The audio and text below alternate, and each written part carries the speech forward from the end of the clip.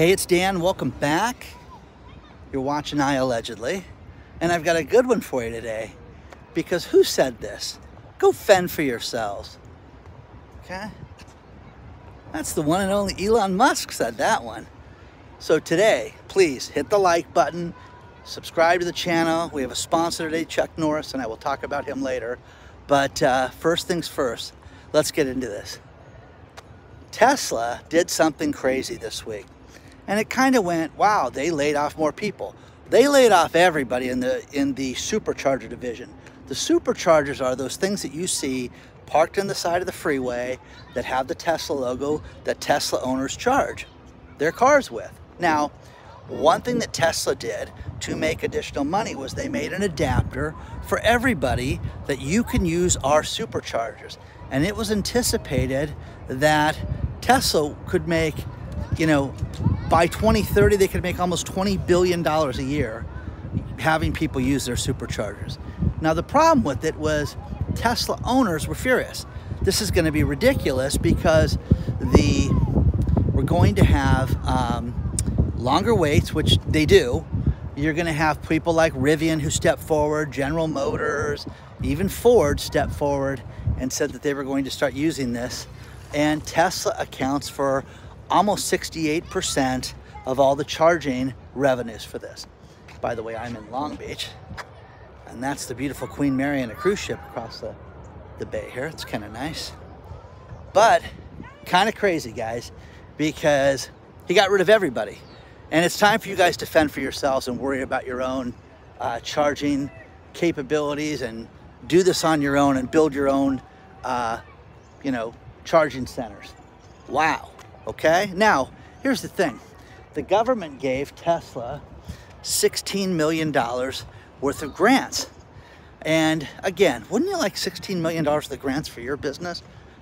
God knows I would, okay? So they got that money and now they're not going to advance everybody and you guys are on your own. This is going to destroy a lot of other companies too because when this originally came out, it was the thing that was going to make it huge, huge money for Tesla, where at one point it could have been hundreds of billions of dollars in charging revenue a year. But again, he's on this hardcore job cutting schedule and laying people off like you guys wouldn't believe. It is crazy what he's doing. Now, there's a great story here in California. When I told you about the ladies that I knew that hopped in the the Waymo machine, the Waymo machine, the Waymo car that's self-driving in Arizona, and uh, isn't that great? There is a guy who has been driving in the Oakland area and gets in the back seat of his Tesla and puts it on autopilot. Param Sharma does this, 25 years old, and goes out and doesn't drive the car. Says it's a magical experience sitting in the back seat of the car and letting the car self-drive. Okay, well, people start taking video of this clown doing this, saying, and the story is below, so you got to see this because it made the news. The guys, they're like, hey, you know, this is dangerous. And the newscaster's like, this is highly illegal. Here in California, it's completely illegal to do this. Now, what happened was, if you see this guy driving down the freeway, please call 911 and let's get the Highway Patrol, which is our, you know, state trooper division, all over him, okay? So sure enough, next time the guy does it, people start filming it. They call 911. There's the lighthouse back there. They call 911 and a highway patrolman was within a couple miles of this guy and pulled him over. And the highway patrolman said when he flipped the lights on, he had to climb from the back seat and uh, this is highly illegal. And they wrote him up and gave him a ticket. Two counts of reckless driving. Now he, uh, Param Sharma says, I don't care. What are they going to do? Take away my license? Before you know it, it's going to be self-driving cars. None of us are going to need a driver's license soon. Okay, I don't know if that's your thinking, but uh, kind of a crazy way. Got the campers behind me and I'll go and move a little bit so they can go by us. But what a crazy thing because, again, incredibly unsafe, incredibly dangerous, and it it's not ready for prime time yet, guys. It's not ready for full self-driving. It's dangerous for people to do this. and for this guy to rip down the freeway. You know, they interviewed him too. He did an interview for the news channel and said, listen, what are they going to do? Reckless driving? How is this even illegal? He said, I'm not breaking any laws. Well, according to the Highway Patrol, they are. He is. And uh, they charged him. He says, they're not going to take away my license for this. Everybody's to have self-driving soon. And I'm just doing it early and I'm adopting the technology early. Okay. Okay. So, a lot of people are writing me about their Tesla problems, Tesla not being able to charge, things like that. But I think it's very interesting that we are living in a time right now where you have so many people that are having problems with the, the auto industry. Ford Maverick is the truck. Remember their $20,000 truck? That's not $20,000. I searched it again today. The cheapest one I found was 30 grand, okay? It's not a $20,000 truck.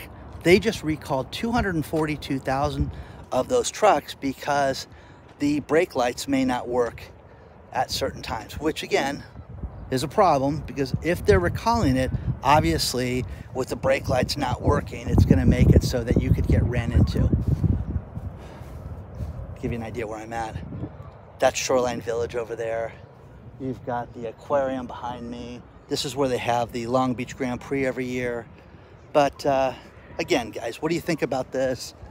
You know, I think it's nuts. I think that uh, Elon Musk, man, that guy does whatever he wants to do, okay? As much as I give him a hard time, he must know something, okay? But by cutting everybody off, I don't know if this is a negotiating tact, you know, to go out and try to get a better deal from everybody. Who knows? But those people lost their jobs. 500 people lost their jobs. Let me know what you think. Let's talk about our sponsor, Chuck Norris. Chuck Norris has been in Hollywood and on TV for decades. He has always had a good physique and has always maintained his health. But a few years ago, he came up with something that completely revolutionized his stamina, his physique, and the ability to work out longer and just be healthier. So if you go to chuckdefense.com forward slash Dan, you can see what he did to make these changes. Now, think about this. There are three things that he says sabotage our health, and you've got to eliminate these. If you go and check out the video that he created, you can see what he's done to make a difference in his health. His wife has done this regimen and she says it makes her feel 10 years younger. Go to chuckdefense.com forward slash Dan. The best place to get a hold of it is the link below. Don't try to punch it in and use the link below and check it out today. But it's made a huge difference in his health. Check it out today.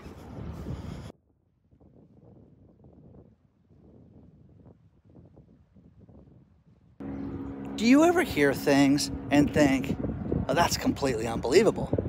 And then they keep piling on and you keep hearing it again and again and again and you still don't believe it. I'll give you a perfect example. Unemployment numbers for first-time unemployment claims are released every Thursday. Yesterday they came out. So what you have is you have the unemployment number staying unchanged. Now, I have had multiple videos sent to me by people that saying, how is this possible?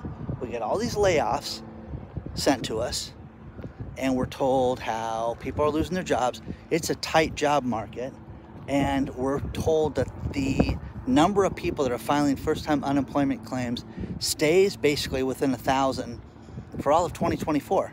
So it's at 208,000 people filed for first-time unemployment claims this week.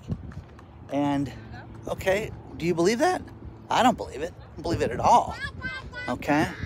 So, what do you call that? Um, uh, conspiracy theory, okay? Here's one for you. A man named Josh Dean, okay? Multiple people sent me this. Josh was a whistleblower who ratted on Spirit Airlines and Boeing okay?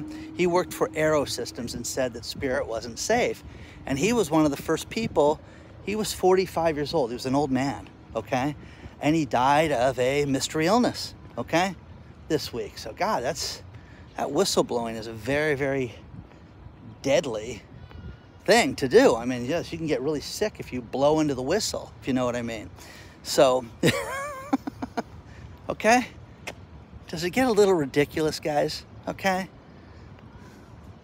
So, you got an infection. Read the stories below. Read the story below about the unemployment numbers, which I don't believe. Okay? Because what we're being told, guys, is you need to be told that everything is great. You need to be told that a $15 hamburger and a Frosty is okay. Okay? You need to be told that. You, you know, a friend of mine from high school, Dan, look at this. Okay? No, guys, it's not. It's unreasonable. Okay?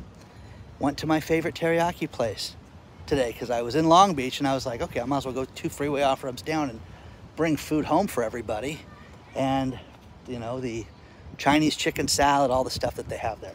Okay, okay. So two salads, teriyaki, and salad, forty dollars. 40, 40, 40, 40, 40 dollars. Okay, guys, it's nuts right now. But don't worry, everything's good. You know, we're not making any money. You know, just man, you know, I just people that blow into the whistle sure seems like they get sick fast. You know what I mean? So share your thoughts on that stuff. But what do you think about these unemployment numbers? You have 190 million people. I have all these stats in my head, guys, that I could bore you with. You have 190 million people in the workforce right now. Think of the people that are not counted. People like me are basically not counted. I own businesses, I'm out here making videos, got sponsors, got all that fun stuff. But basically, people like me are not counted in the workforce, okay? Or are we, you know? So the other thing is the IRS.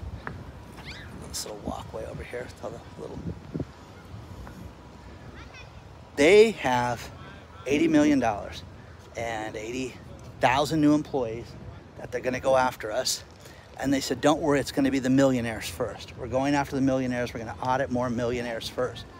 And depending on who you listen to and who you, you know, pay attention to, it could be people that make $40,000 a year. So they're going to go after everyone. So I think it's going to be everybody, you know, from beginning to end. And if you guys have any crypto or you have a little side hustle, and yeah, you know what, I sell things and mail them out and I don't report that. They're going to find that stuff out now, guys. They're to find that stuff out now. So get ready for this. Get ready for more of a, you know, inspection into your life. You know, I have people that write me still and don't get the, you know, how bad a central bank digital currency would be. And what it would do is it would make it so that they could track everything that you do. Why are you in Long Beach today, Dan? Why did you go to Carson to pick up teriyaki? You know, and we noticed you went down there three freeway off ramps down. Do you know what I mean? It gets crazy. Well, tell me where there's better teriyaki than that place. You know what I mean? So, once again, the freedom that you have is going to be eliminated. The one thing that you have when you guys drive these electric cars, you're going to see that they sell the data on all of you. Everything that you do is reported. And you're going to get more of that. Now, they're talking about making more of the newer cars have the ability to be shut off as well with kill switches and things like that. You know, I'll believe it when I see it if the stuff goes through. But again, OnStar, those type of programs that they listen to. You guys, if you follow this channel for a year, you would have heard stories where OnStar was listening to people and people didn't even have it turned on and they knew that uh, uh, they were, you know, listening to their, their, their, their conversations. One woman was praying one day and she heard the OnStar person uh, giggle and cough, okay? So it was nice. Nice privacy, okay? So I'm at the lighthouse. I'm gonna climb up the hill if I don't pass out, okay? Share your thoughts on all this stuff so far.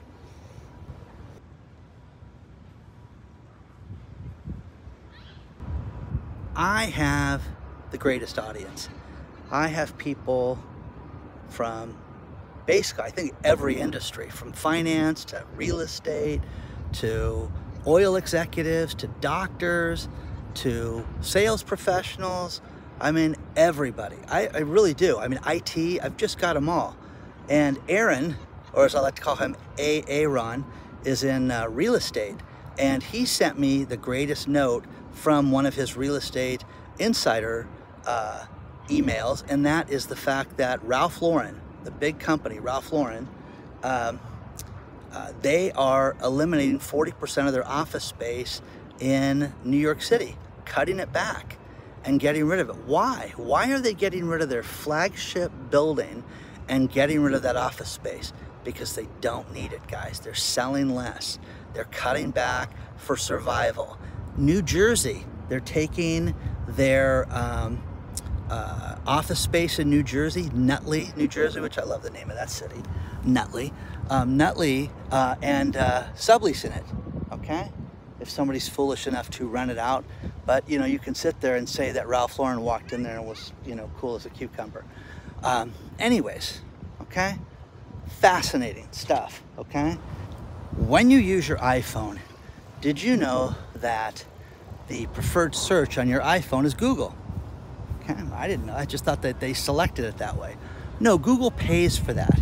Google paid $20 billion last year to make sure that that was maintained. Well, that's a nice deal, don't you think? 20 billion buckaroos? Wow. Wow, wow, wow.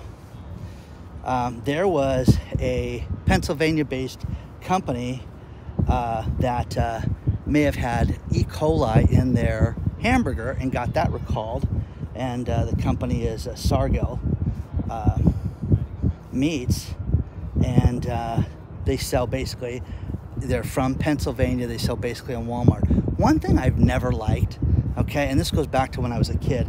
My mom would buy that hamburger that was in the plastic wrap that was like, this is hamburger inside of it. Well, if you can't see it, I didn't want to eat it first. Don't, what's it, you know, I don't you want to look at it? That's my thing. I don't like those prepackaged things that are hidden. I don't know how you guys feel about that, but you can let me know about that. I want to look at it during the health crisis, when COVID was around, there were certain businesses that just killed it, just did really, really well because people were locked down. Peloton was one of them.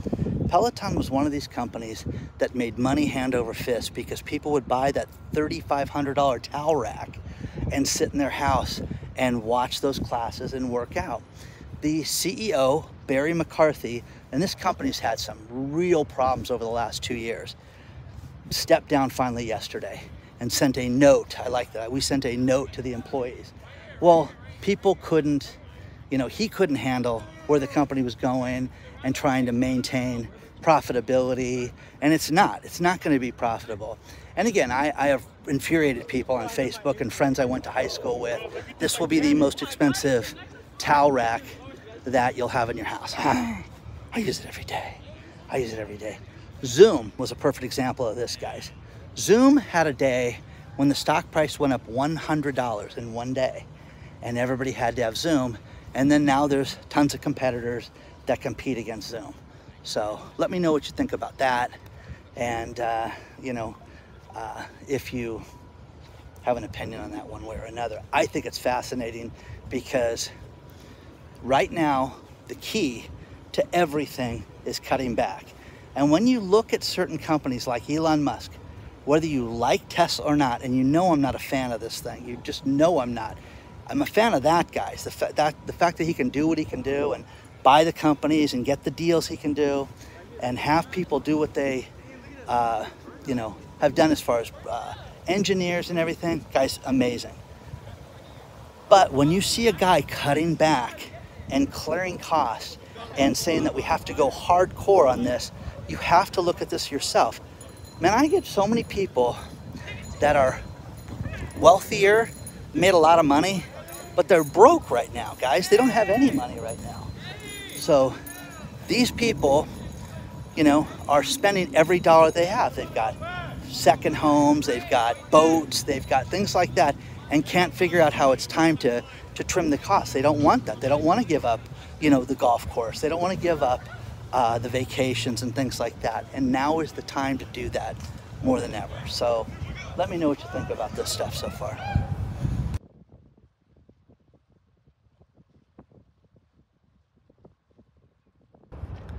I'm gonna finish this video with these last few stories. And the first one is, remember the bridge collapse in March in Maryland? Well, Chubb Insurance, Chubby Chub Chubb, steps forward and they're gonna write a check for $350 million for the bridge collapse. It's a lot of money. I don't know if it'll cover, you know, the bridge or not, but they're gonna pay $350 million as a fee for that.